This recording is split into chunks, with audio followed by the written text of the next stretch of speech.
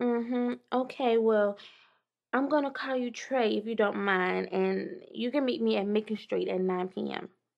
Don't be late. Alright, I'll holler at you. See you, Trey.